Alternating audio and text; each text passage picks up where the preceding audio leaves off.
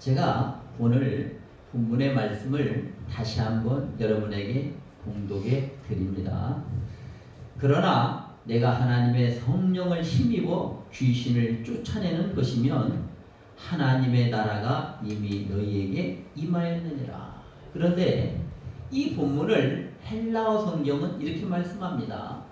그러나 내가 하나님의 영으로 귀신들을 쫓아내는 것이면 하나님의 나라가 이미 너희에게 와 있는 것이 된다. 와 있는 것이 된다. 여기 임하였다는 말이 헬라어로 푸다노라는 말입니다. 이미 와 있다. 이미 와 있다. 그런데 우리는 여기서 한 가지 의문을 가져야 합니다. 구약에서부터 히브리 사람들 그리고 예수님 시대에 있던 모든 사람들은 하늘을 세 개로 구분합니다. 우리의 눈에 보이고 새가 날아다니는 하늘이 첫째 하늘이고 두 번째가 우리 눈에 보이지 않는 대기권에 있는 하늘 세 번째를 바로 셋째 하늘이라고 생각하고 있었습니다. 그런데 예수님께서는 셋째 하늘인 하나님이 계신 하늘이 이미 우리에게 와 있다라고 말씀을 하고 계시다는 사실입니다. 그런데 고린도서 12장 1절에 보면 바울도 이미 이렇게 말합니다. 자기 자신이 고린도후서를 쓰기 이전 14년 전에 이미 셋째 하늘을 다녀왔다. 셋째 하늘을 다녀왔다. 그런데 왜 예수님은 그러면 이렇게 셋째 하늘 하나님이 계시는 하늘나라가 이미 우리에게 임했다라고 말씀하고 계시는가? 요한복음 8장 32절에 예수님이 말씀합니다. 내가 곧 길이요 진리요 생명이니 나로 말미암지 않고는 아버지께로 올 자가 없느니라. 예수님 자신이 진리라는 말씀입니다. 진리는 변하지 않는 겁니다. 그렇다면 예수님의 말씀이 당연히 진리이기 때문에 우리는 그 말씀을 믿을 수밖에 없습니다. 믿을 수밖에 없어요. 또 누가복음 17장 21절에는 또 여기 있다 저기 있다 못하리니 하나님의 나라는 너희 안에 있느니라. 너희 안에 있느니라. 그런데 여기서 우리가 생각해 봐야 될 중요한 부분이 있습니다. 만약 우리가 예수님의 제자라면 예수님이 하신 예수님이 살아가신 그 삶을 살아야 된다는 말입니다. 그런데 예수님은 무엇라고 말씀하시냐면 하나님의 나라가 이 땅 위에 이미 와 있는 증거를 무엇라고 말씀하시는가? 성령을 힘입어 귀신을 쫓아내는 것이며 즉 성령을 힘입는다는 말이 헬라어로 엠이라는 전치사인데 성령과 함께라는 말입니다. 우리 모든 믿는 사람 안에는 이미 성령께서 내 안에 들어와 계시다는 말씀입니다. 그러면 성령과 함께 내가 병자를 치유하고 귀신을 쫓아내면 이미 그곳에는 하나님의 나라가 임했다라고 지금 예수님이 말씀하고 계시다는 사실입니다. 실제로 예수님께서 이미 그러한 사역을 행하셨어요. 사도행전 10장 38절에 하나님이 나사렛 예수에게 성령과 능력을 기름붓 하시며 저가 두루 다니시며 착한 일을 행하시고 마귀에게 눌린 모든 자를 고치셨으니 이는 하나님이 함께 하셨습니다. 하나님이 함께 하셨다. 여기 착한 일이라는 것이 바로 병자를 고치는 일을 말합니다. 즉 예수님께서도 성령과 능력을 기름 붓듯 부음 받으셨지만 모든 일을 하나님과 함께 하나님과 함께 병자를 치료하고 귀신을 쫓아내는 사역을 감당하셨다는 사실입니다. 그러면 우리 사람이 우리 사람이 하나님의 성령을 받고 하나님의 성령과 일을 하기 위해서 가장 중요한 것은 무엇일까요? 그것은 바로 다시 태어나야 된다는 겁니다. 재창조되어야 된다는 사실입니다. 고린도서 5장 17절은 말씀합니다. 그런즉 누구든지 그리스도 안에 있으면 새로운 피조물이라. 이전 것은 지나갔으니 보라 새 것이. 여기 피조물이라는 말이 헬라어로 크티시스라는 말인데 다시 창조됐다는 겁니다. 다시 바꿔졌다는 겁니다. 다시 태어났다는 겁니다. 저와 여러분은 이제 예전까지의 무능하고 최악에 있던 그러한 인생이 아닙니다. 성령의 능력으로 하나님의 말씀 안에서 새롭게 태어난 존재들입니다. 그렇다면 우리 역시 예수님이 하신 그 일을 내 안에 계신 성령님과 함께 행해야 된다는 사실입니다. 그래서 하나님의 나라가 지금 이곳에 있다는 것을 이 땅에 이미 와 있다는 것을 증거할 수 있는 증인의 삶을 살아야 될 줄로 믿습니다. 창세기 1장 27절에 보니까 하나님이 이렇게 말씀합니다. 하나님이 자기 영상, 곧 하나님의 영상대로 남자와 여자를 창조하시고, 창조하시고. 또 시편 115편 16절에 하늘은 여호와의 하늘이라도 땅은 인생에게 주셨도다. 지금 이 말씀이 무슨 말씀이냐면 하나님의 형상대로 창조했다는 것은 내게 우리에게 하나님의 능력, 하나님의 유전자를 주셨다는 말입니다. 하나님과 닮아 있다는 겁니다. 즉 첫사람 아담은 하나님이 뭐라고 시편 115편 16절에 하늘은 하나님 여호와의 것이라도 땅은 인생 우리에게 주셨다는 겁니다. 그러면 사람은 이미 하나님이 무에서 유를 창조하듯이 그러한 능력을 갖고 태어났다는 존재입니다. 그런데 사람이 무엇 때문에 이 능력을 소멸합니까? 사람의 첫 번째 범죄 사건은 많은 분들이 선악과만을 생각하지만 선악과는 행위에 따른 범죄일 뿐입니다. 선악과의 범죄, 선악과를 먹는 하나님의 계명을 어기기 위해서 아담과 하는 창세기 3장에서부터 보면 뱀에 속여서 거짓말을 하게 됩니다. 인류 최초의 범죄가 바로 거짓말이었습니다.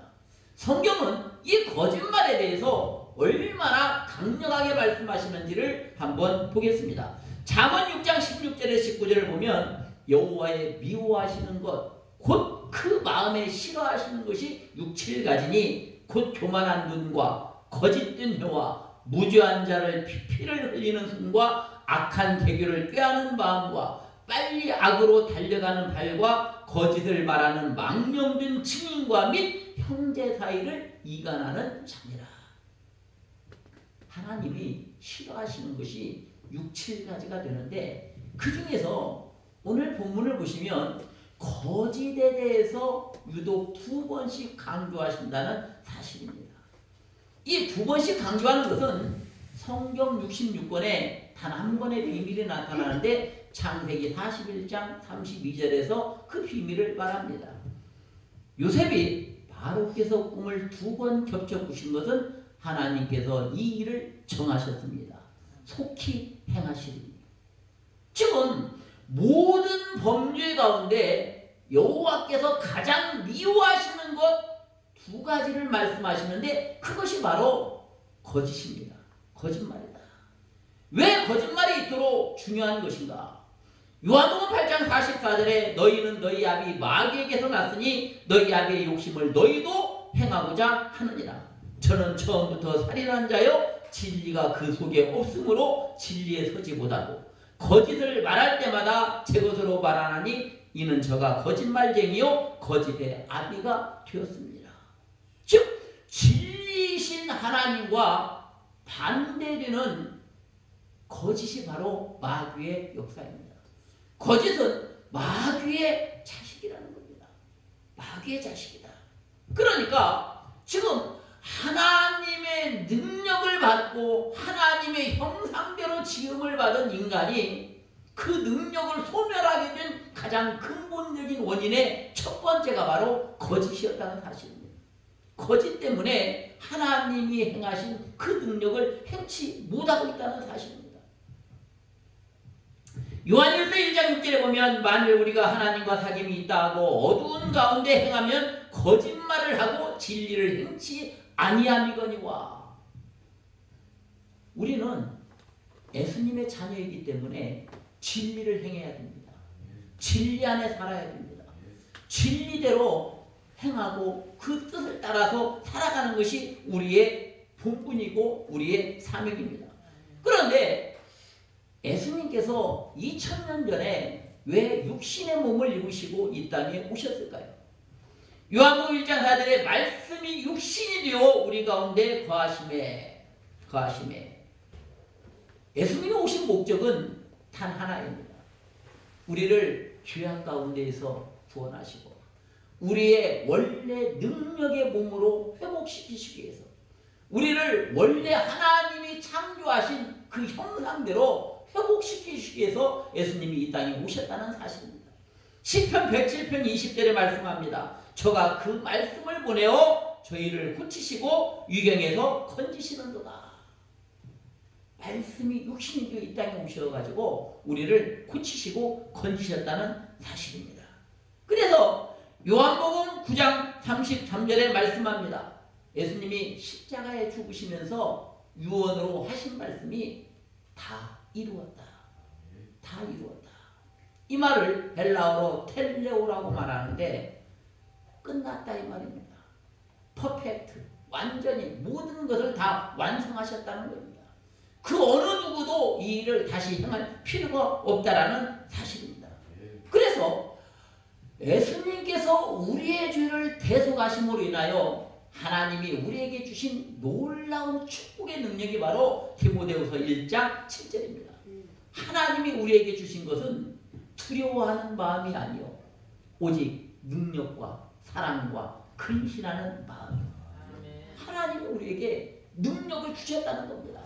저와 여러분에게 능력을 허락하셨다는 겁니다. 그 능력을 예수님이 십자가에 죽으심으로 다시 잃었던 능력을 회복시켜 주셨다는 사실입니다. 회복시켜 주셨다. 그런데 그러면 우리가 무엇을 알아야 되는가? 무엇을 알아야 되는가? 예수님이 우리 때문에 십자가에 죽으셨고 그 십자가의 보혈로 우리를 다시 회복시키셨기 때문에 우리는 모든 일을 성령님과 함께 동행해야 된다는 사실입니다. 요한복음 14장 26절에 말씀합니다. 보혜사 곧 아버지께서 내 이름으로 보내실 성령 그가 너희에게 모든 것을 가르치시고 내가 말한 모든 것을 생각나게 하시리라. 모든 것을 가르쳐 주시겠다. 또한 예수님께서 우리에게 말씀하신 모든 것을 성령께서 생각나게 해 주시겠다라고 말씀합니다. 생각나게 해 주시겠다. 그렇다면 지금 저와 여러분이 알아야 될 가장 중요한 것이 바로 무엇인가요? 첫사람 아담은 능력의 존재로 이 세상의 신과 같은 존재로 하나님으로부터 창조함을 받았습니다. 모든 만물을 다스리라는 명령을 받았습니다. 그런데 아담이 죄를 지음으로 인하여 고린도후서 4장 4절에 보면 마귀가 이 세상의 신이라고 기록되어 있습니다. 마귀에게 모든 권한을 위임하고 말았습니다. 내주고 말았습니다. 그러나 그 모든 것을 회복시키기 위해서 2000년 전에 예수님이 이 땅에 오셨고 예수님이 십자가에 죽으심으로 인하여 우리를 다시 죄 가운데 구속하시고 우리를 해방시키셔서 하나님이 처음 창조하신 의도대로 우리에게 능력을 회복시켜 주셨다는 사실입니다. 그러면 우리는 예수님께서 성령님과 함께 성령님과 함께 이 땅에서 하나님의 나라를 확장시키신 하나님의 나라를 확장시키신 성령님과 함께 병자를 고치고 성령님과 함께 귀신을 쫓아내고 하나님의 나라를 확장시키는 증인의 삶을 살아야 된다는 사실입니다. 사도행전 1장 8절에 오직 성령이 너희에게 임하시면 권능을 받고 예루살렘과 온 유대와 사마리아와 땅 끝까지 이르러 내 증인이 되리라 하신다. 자, 예수님의 증인이 되려면 증인은 무엇입니까?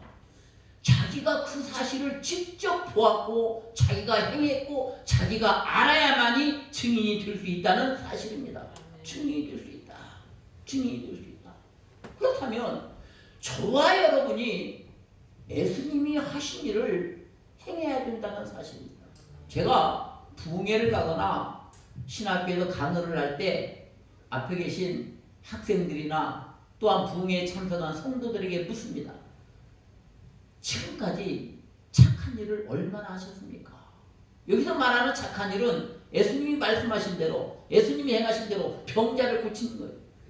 병자를 한 명도 못 고친 사람도 있고 귀신을 하나도 못 쫓아낸 사람도 있으면 아직 그분은 성령님 그 안에 계시지 않는 거예요. 그러면 제가 묻습니다. 지금도 때는 늦지 않습니다. 주님이 부르시는 그날까지 예수님이 착한 일을 하신 것처럼 예수님이 성령님과 함께 마귀를 쫓아낸 것처럼 그 일을 끊임없이 하셔서 하나님의 나라를 확장시키시고 하나님의 증인이 되시기를 바랍니다. 하나님 증인이 되시기를 바랍니다. 지금 중요한 사실이 창세기 1장 1절에 보면 태초에 하나님이 천지를 창조하시니라. 여기 창조라는 단어가 히브리어로 바라라는 단어인데 이 단어는 무에서 유를 만든다는 겁니다. 태초라는 것은 아무것도 없는 가운데서 무엇을 만들어냈다는 것을 말하는 사실입니다. 그런데 하나님이 사람을 창조하실 때 그러한 능력을 어디에 사람의 말에 주셨다는 사실입니다. 로마서 4장 17절은 말씀합니다. 그의 믿음 바 죽은 자를 살리며 없는 것을 있는 것 같이 부르시는 이시니라. 없는 것을 있는 것처럼 부르시는 그 하나님의 능력을 저와 여러분에게 하나님이 성령님을 보내셔서 행할 수 있는 힘과 능력을 허락하셨다는 사실입니다. 그러니까 지금 오늘 본문에서도 분명히 주님이 무엇라고 말씀하시냐면 하나님의 성령을 힘입어 하나님의 성령과 함께 성령과 함께 귀신을 쫓아내는 것이면 하나님의 나라가 이미 임했다는 겁니다. 이미 와 있다는 겁니다. 와 있다. 와 있다. 자, 그렇다면 우리는 이러한 능력을 회복할 수 있는 유일한 방법이 무엇일까요? 좀 전에 말씀드린 대로 하나님은 거짓과 원수입니다. 진리와 거짓은 하나 될 수 없습니다. 마태복음 6장 7절에 이렇게 예수님이 말씀하셨어요. 뭐라고? 너희는 기도할 때 이방인과 같이 중언부언하지 말라. 그들은 말을 많이 하여야 들을 줄로 아십니다. 그런데 여기 중언부언이라는 단어가 바톨로게오라는 헬라어인데 성경에 단 한 번밖에 기록되지 않는 중요한 단어입니다. 이 바톨로게오는 쓸데없는 말을 하지 말라는 겁니다. 쓸데없는 말. 쓸데없는 말이 무슨 말이에요? 죽은 말이죠. 허무한 말이죠. 생명이 없는 말이죠. 하나님의 말씀은 생명이 있고 하나님의 말씀은 살아서 역사하는 것이 하나님의 말씀입니다. 그래서 민수기 23장 19절에 하나님은 인생이 아니시니 식언치 않으시고 인자가 아니시니 후회가 없으시다. 어찌 그 말씀하신 말을 행치 아니하시며 하신 말씀을 실행치 않으시랴. 그런데 여기 하나님은 인생이 아니시니 식언치 아니하시고 이 말이 히브리어로 לא איש אל ויכזב입니다. לא איש אל ויכזב 무슨 뜻이냐면 하나님은 결코 사람이 아니시다. 그러므로 그는 결코 거짓말을 하지 않으신다. 이해가셨죠? 하나님은 사람이 아니시다. 그래서 그 하나님은 결코 거짓말을 안 하신다. 그러면 창세기 1장 27절에 사람을 하나님의 형상대로 지었다는 것은 하나님의 자녀 역시 결국 거짓말을 해서는 안 된다는 사실입니다. 거짓말을 하면 하나님과 원수가 되는 마귀의 자녀가 되기 때문에 하나님이 행하시는 하나님의 성령과 함께하는 능력이 나타날 수가 없다는 사실입니다. 먼저 거짓을 버려야 말씀으로 무에서 우리를 창조하시는 하나님의 능력이 그 하나님의 능력을 가지고 하나님이 우리에게 보여주시고 예수님이 성령님과 함께 병자를 고치고 귀신을 쫓아내고 하나님의 나라를 확장시키고 그 모든 일을 행할 수 있는 놀라운 능력이 회복될 줄로 믿습니다. 히브리서 13장 8절은 말씀합니다. 예수 그리스도는 어제나 오늘이나 영원토록 통일하시느니라. 저는 이 말씀을 굉장히 중요하게 생각합니다.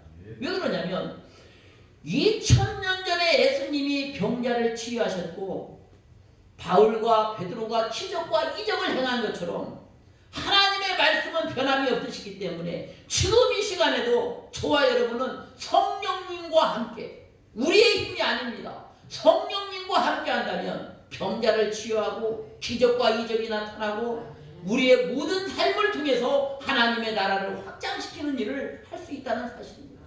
이것이 바로 하나님이 우리에게 주신 약속입니다. 하나님의 말씀은 영원히 변치 아니합니다.